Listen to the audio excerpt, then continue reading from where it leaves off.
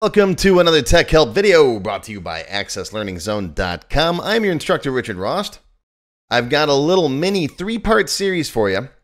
We're going to do data bars, color scales, and then colored data bars. All right, what's all this stuff mean?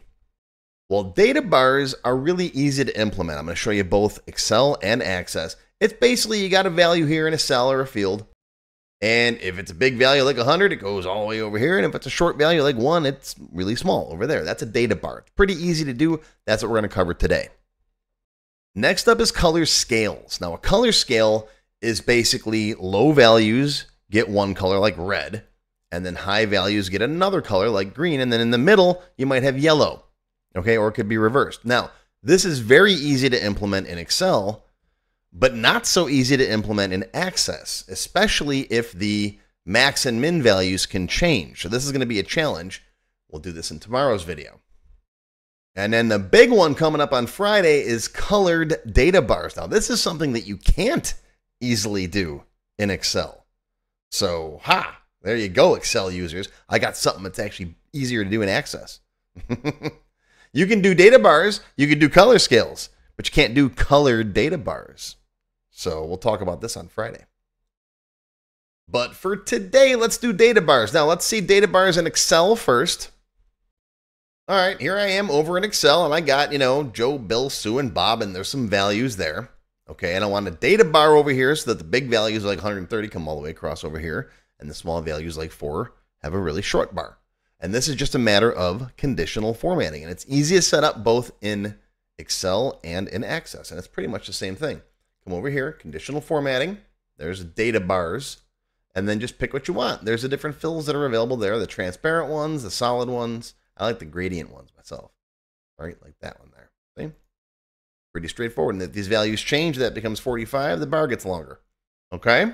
Easy enough. All right, how do I do this in Access? Well, let's say on my customer list, I want to do a little data bar.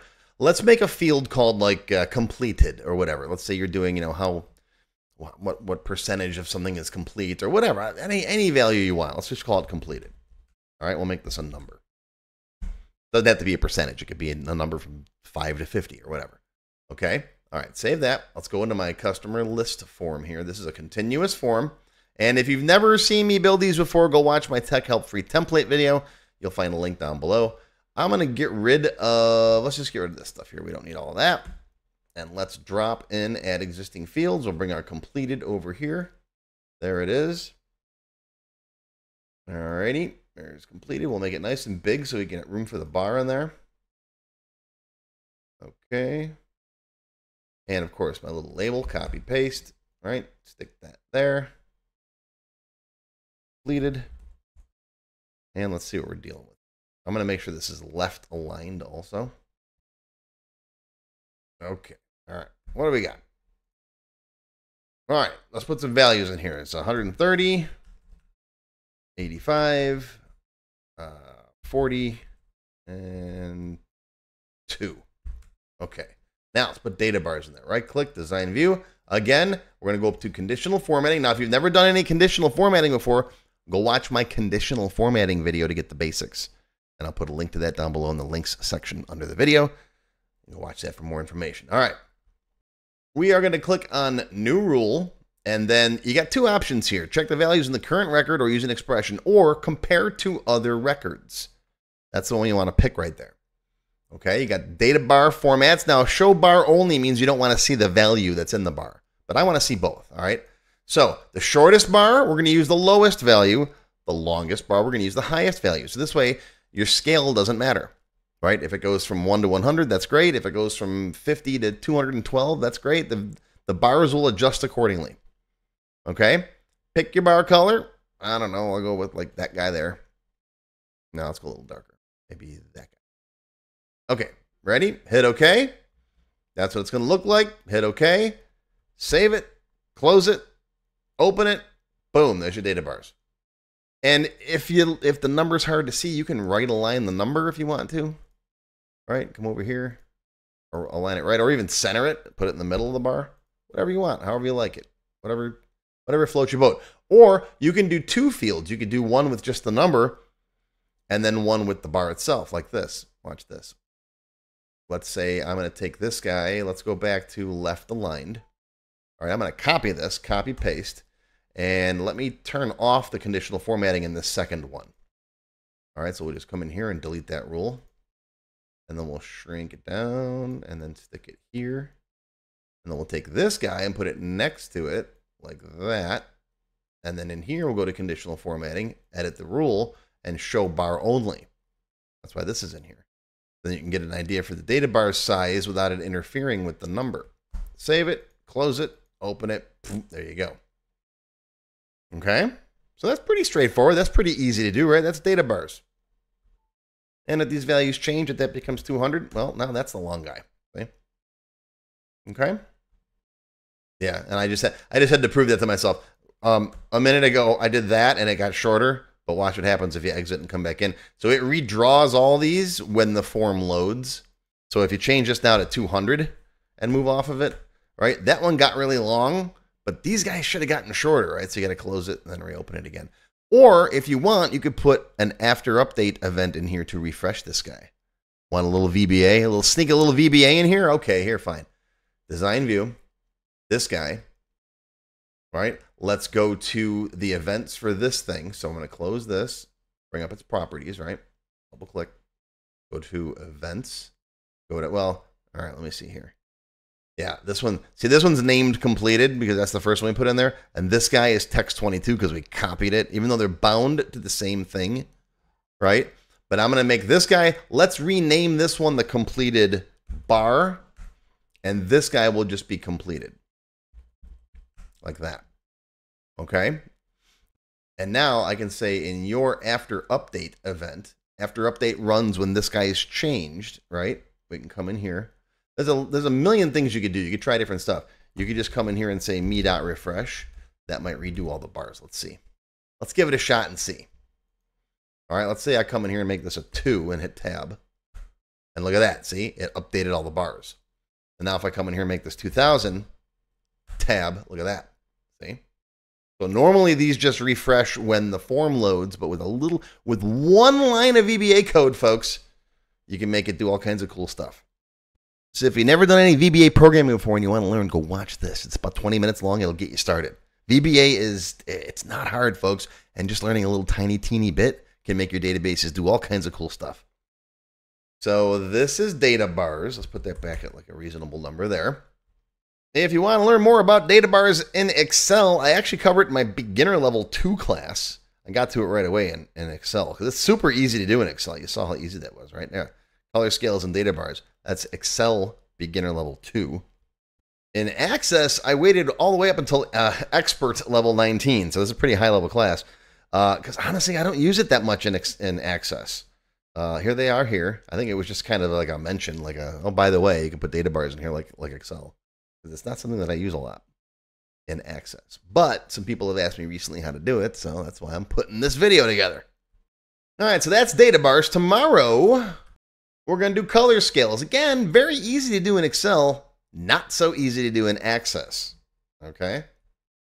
And then on Friday, we're going to mix them together and have color scales and data bars, and we're going to do all kinds of cool stuff. So stick around. But that is going to be your tech help video for today. I hope you learned something, my friends. Live long and prosper. I'll see you next time. If you enjoyed this video, please give me a thumbs up and post any comments you may have below. I do try to read and answer all of them as soon as I can. Make sure you subscribe to my channel, which is completely free. Click the bell icon and select all to receive notifications when new videos are posted. Want to learn more? Click the show more link below the video to find additional resources and links. YouTube does a pretty good job of hiding it. It's right down there. See this part of the description here, right? The name, the video's up here. There's a little show more down there, right down the bottom. It's kind of hard to find. But once you click on that, you'll see a list of other videos, additional information related to the current topic, free lessons, and lots more. And YouTube no longer sends out email notifications when new videos are posted like they used to do. But if you'd like to get an email every time I post a new video, click on the link to join my mailing list. and you can pick how frequently to get emails from me, either as they happen daily, weekly, or monthly. Now, if you'd like to become a paid member of my channel and receive all kinds of awesome perks, click on the join button. You'll see a list of all the different membership levels that are available, each with its own special perks, including my extended cut videos, access to my code vault, lots of VBA source code in there, template downloads, and lots more. I'll talk more about these perks at the end of the video. Even if you don't want to commit to becoming a paid member and you'd like to help support my work, please feel free to click on the tip jar link. Your patronage is greatly appreciated and will help keep these free videos coming. I got some puppies to feed. But don't worry, no matter what, these free tech help videos are going to keep coming. As long as you keep watching them, I'll keep making more, and they'll always be free. Now, if you really want to learn Access and you haven't tried my free Access Level 1 course, check it out now. It covers all the basics of Microsoft Access, including building forms, queries, reports, and more. It's over four hours long. You can find it on my website or on my YouTube channel. I'll put a link down below you can click on. And did I mention it's completely free? The whole thing, free, four hours. Go watch it. And okay, okay, a lot of you have told me that you don't have time to sit through a four hour course. So I do now have a quicker Microsoft Access for Beginners video that covers all the basics faster in about 30 minutes. And no, I didn't just put the video on fast forward, but I'll put a link to this down below as well. Now, if you like level one, level two is just a dollar. That's it, one dollar. And that's another whole like 90 minute course. Level two is also free for paid members of any level, including supporters. So if you're a member, go watch level two. It's free. Okay, want to get your question answered in a video just like this one? Visit my tech help page and send me your question there. Members get priority, of course. While I do try to read and respond to all of the comments posted below in the comments section, I only have time to go through them briefly a couple of times a month, and sometimes I get thousands of them. So send me your question here on the tech help page, and you'll have a better chance of getting it answered. And while you're on my website, be sure to stop by my Access forum. We've got lots of lively conversations about Microsoft Access and other topics. I have a fantastic group of moderators who help me answer questions. Shout out to Alex, Kevin, Scott, Adam, John, Dan, Juan, and everybody else who helps out on the site. I appreciate everything you do. I couldn't do it without you. Be sure to follow my blog, find me on Twitter, and of course on YouTube. Yeah, I'm on Facebook too, but I don't like Facebook. Don't get me started. Now, let's talk more about those member perks if you do decide to join as a paid member. There are different levels silver, gold, platinum, and diamond. Silver members and up get access to all of my extended cut tech help videos, one free beginner class every month, and some other perks.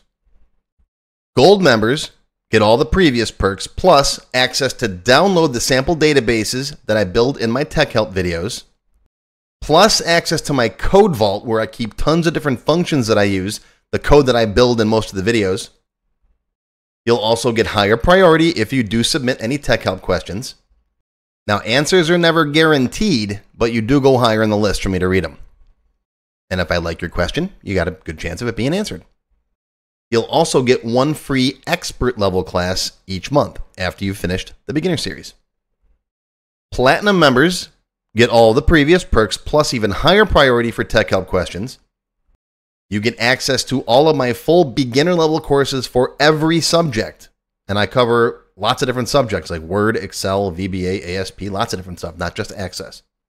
These are the full length courses found on my website. You get all the beginner ones.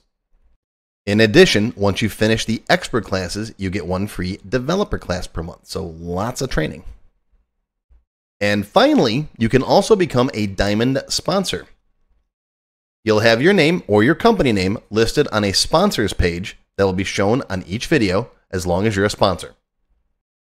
You'll get a shout out in the video and a link to your website or product in the text below the video and on my website. So that's it. Once again, my name is Richard Rost. Thank you for watching this video brought to you by AccessLearningZone.com. I hope you enjoyed. I hope you learned something today. Live long and prosper, my friends.